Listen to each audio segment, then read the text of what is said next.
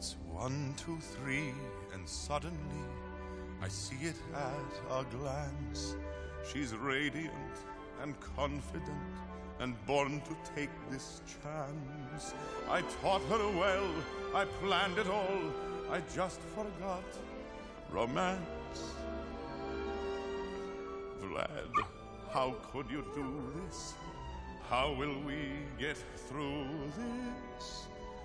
I never should have let them